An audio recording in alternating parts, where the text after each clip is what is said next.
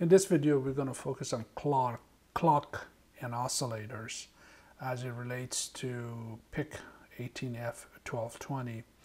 Um, this particular uh, microcontroller has a lot more flexibility with the type of clock uh, that is using. A typical processor, basically, it's going to have a primary uh, point of entry, usually two pins, and uh, depending on what frequency you want to run it, and what frequency it is capable of running, you will purchase an oscillator. Um, those oscillators are usually crystal oscillators, which that come typically in a metal can or some form of protected uh, EMI protected device. And they're really a crystal that has been cut precisely to give you whatever frequency you need for your um, system. Um, PIC 1220, which is our processor, also is capable of doing that. So you could hook up your crystal to oscillator 1, oscillator 2 and become a primary um, driver of that. In addition to that, you notice it has the capability of putting the oscillator to sleep so it saves um, power because remember these are the built out of CMOS so if you're not clocking it you are not using power and then there's secondary oscillator and all, all kinds of other things that could be used with this processor. For the work uh, we're going to focus on is, a, uh, is that we're going to be using in the internal oscillator block so we're not going to use any of these pins for any purposes.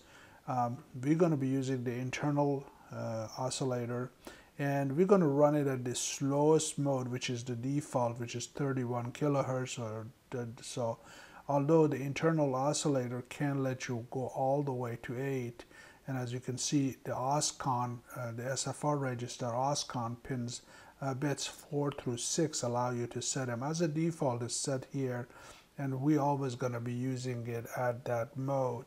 We're going to assume that the system clock the period of system clock is 32 kilohertz for for some of a 32 microsecond um, for simplicity. So when we are doing calculation, we're going to assume that the system clock, the period for the system clock is 32 microsecond. This becomes very important later on when we come back to do analysis of uh, um, how to calculate how long your program takes to do a certain task. If you're interested in more uh, details and understanding kind of how all of this fit together, this uh, this is one of the registers. There are many registers you can see.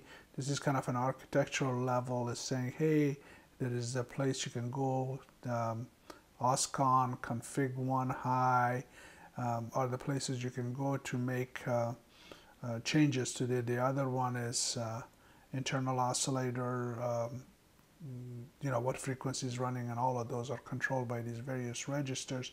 In here, we're going to leave it at default. We're not going to make any changes and that gives us a uh, uh, internal um, oscillator running at the period of 32 microsecond uh, and we would not need to connect anything to these clock pins. As a matter of fact, those, those pins are free for us to use as I.O.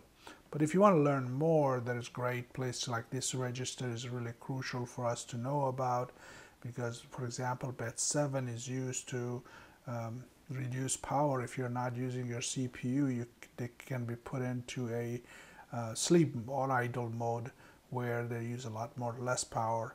As a default, 0 is set, which is a run mode executing, and then these three bits right here allow you to select where we are. Again we are running the clock right in this mode okay? And then there are other things that you could fix that you could uh, work on. If you're really interested in this topic which is a very uh, broad and there's got a lot of interesting uh, material in it i would encourage you to take a look at the uh, data sheet and the datasheet provides a whole section on oscillator configuration, how do you set the primary, how do you set the secondary, um, and um, all of those. Okay, so I'm going to leave that uh, for, for you to take a look at if you're interested. Let's go ahead and go back um, to um, to the um, uh, back to trying to figure out how we use this information. So now we know that we are going to run this thing at 31 uh, kilohertz, roughly 32 microsecond per um, per um, cycle. So, so, so when I'm going and looking at an instruction, let's go ahead and grab an instruction and take a look at it. So let's say I am looking, let's say I'm looking at instruction. This is a binary and I just copied a couple of uh, sheets of uh, instruction summary to talk about this. So when we look at, for example, when we look at add WF, it says it takes one cycle. What does that mean? How long is one cycle is? And what I want to make sure we, we kind of clear up, when it says cycle in this table, it is talking about instruction cycle. Okay, and that's the same. So now that's a simple one, one, one, one for all like let's say add WF and WF, clear F, but then once in a while you got multiple choices. And that really has to do with, you know, if is it gonna skip, if it's gonna skip, for example, for this instruction, which is uh, skip if equal, if it doesn't skip, then it's one cycle. If it is skip, it's two cycle. And if it has to skip over a two word uh, instruction, then it's three cycle. So that's how you decide what it is. Branch is another one that is one or two. Again, one is if you don't have to branch, you just normally go through. Two cycle if you have to branch. Now the question is what is an instruction cycle and how is it different from the clock cycle? So the oscillator or the system clock is the one we said we're going to use an internal RC and it's going to be 32 microsecond. So an instruction cycle it's going to be four. The one, two, three, four. Typically, uh, Q1 is used to fetch instruction. 2 is usually used to decode the instruction. 3 is used to execute it. And the last cycle is used to write out the result. Typically, that's what it is. Some, some instructions may have a little bit different, required different than that. So so if each clock cycle is 30 that means the instruction cycle is going to be four of those. So if somebody is telling you this ins this instruction takes one cycle to execute what they're telling you is that for for our so based on our assumption that would be 128 microsecond because our clock is this so if the clock was faster of course this time would be shorter as well so that's that now let's go take a look at some that maybe do it a little bit differently. Here, for example, this is a bit test skip if clear. And in this particular case, when you look at the number of cycles, it basically tells you, hey, this is going to take one or two cycle. So first cycle is going to decode, read, process, and no operation on fourth if it's if it's skipping. If it's skipping, then there's no operation on the second cycle. If skip and follow a two-word instruction, then this is what's going to happen. So so the first first cycle is if doesn't have to skip or anything. Uh, it's just gonna decode the the stuff, read whatever register it needs to read, process the data, and then the last one, because it doesn't have anything to write out, it's not going to do anything. If it's skipping a one word uh, instruction, then it's going to take one cycle, if not two more cycles. So this is, this is how uh, this basically works, okay? One cycle, two cycle, three cycle, depending on what's doing. So this is, this is a bit test. Now, how does all that information help us?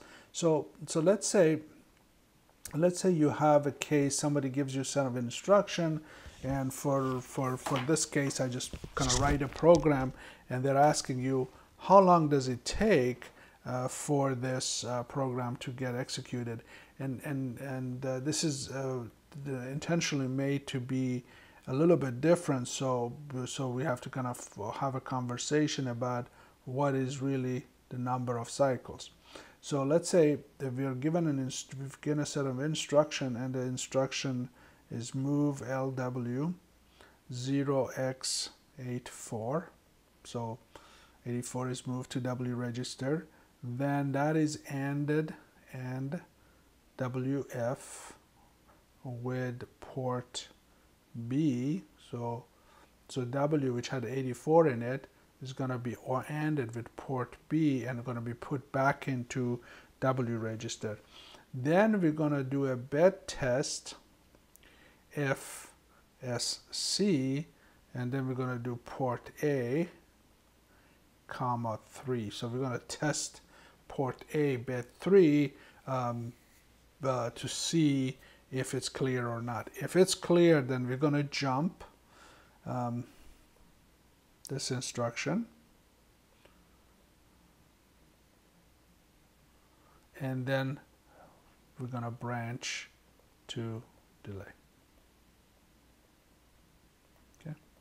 Now, if somebody asks us how long this this instruction, this set of instruction will take, what we have to do is we're going to come back here and say, okay, let's figure out number of instruction cycle for each one of these things and the way we do that, we go to this table and say, okay, I want move LW. Unfortunately, I didn't put move LW in here, but that would that I know the num number of instruction cycles is one.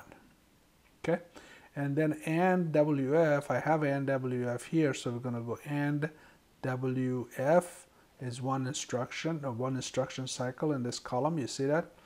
So we're going to put a one here and then we got to do a bit test if skip happen to have it right here oh and that's kind of interesting this will not really depends on what happens one if it doesn't skip two if you skip a two word um, if the next next instruction is a two byte or one word instruction three if it's two uh, we already know this is a this is a one word instruction so only possibilities are one if it doesn't skip two if it skips clear F W register. We're going to go over here and see clear F uh, W. So C uh, right there.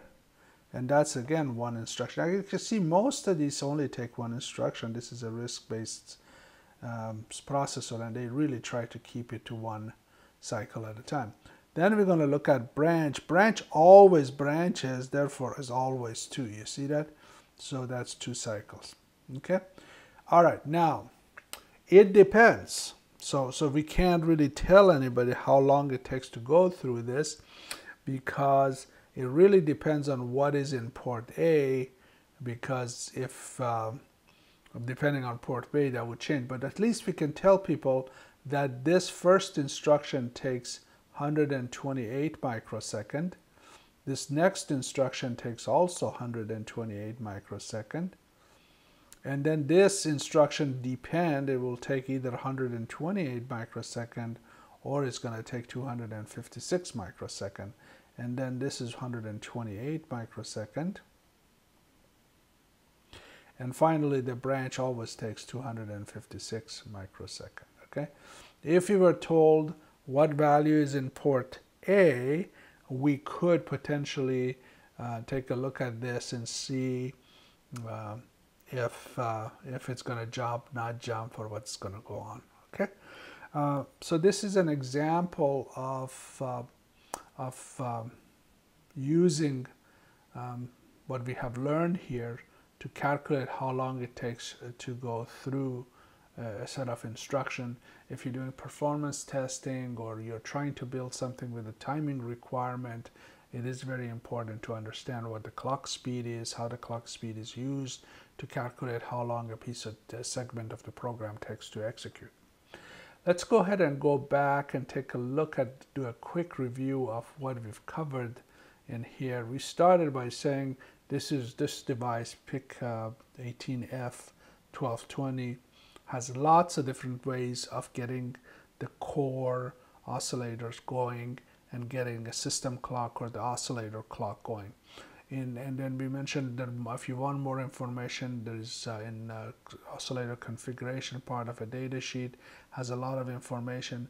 For for the purposes of this uh, discussion and just to simplify the process we're going to use the internal oscillator so we don't have to get a crystal and we're going to set it to the base uh, speed the lowest speed because it's easier to uh, look at and time it and look at it on the scope and other places so we're gonna, so that means that our uh, system uh, period, or sometimes it's also referred to an oscillator period, is 32 microsecond.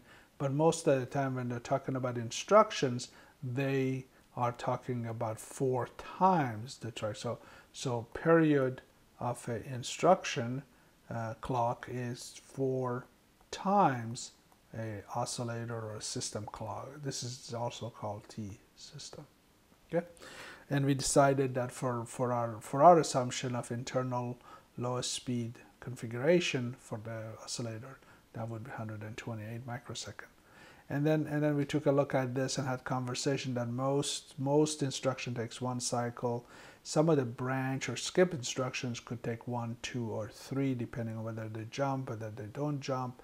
In the case of a skip, whether they're jumping over two word instruction or one word instruction. And then we kind of applied that to a simple um, program here, uh, assembly code, and asking how long it takes to execute through this thing. And we notice that um, most most instruction will take one instruction cycle, which in with our stuff is only 128 microseconds. Some cases took two uh, if they're jumping or skipping, and that uh, is specified here. Uh, if you add a loop, for example, the delay loop that uh, you do, and then you figure out how many times you're going to go through the loop, you multiply it by number of instruction, multiply each that total number with 128, and that gives you how long it takes to process a loop. Okay, so that pretty much covers the section on um, oscillators and uh, clocks.